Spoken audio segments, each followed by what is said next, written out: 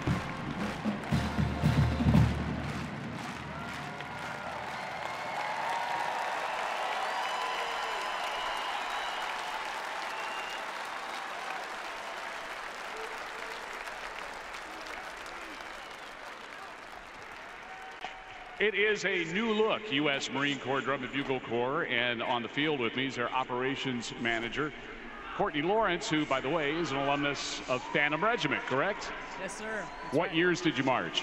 I marched in the Phantom Regiment from 2004 through 2008. Great years to march. Yeah. Great to see them this year. Have you gotten a chance to see Phantom this year? I'm actually helping out a little bit with the brass staff this year as well, so it's oh, been really fantastic. exciting. Yeah. That is great. This really is a new look Marine Drum and Bugle Corps, isn't it? I mean, when I heard First Circle, I, the Marines are playing First Circle. This this is a great show. Absolutely.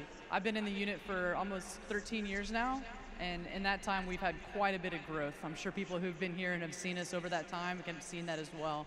Sure, all of Drum and Bugle Corps is evolving and has been, and the Marines are right there. I bet you'd like to say something to the Corps members that are in the audience tonight about the benefits of being in the U.S. Marine Drum and Bugle Corps.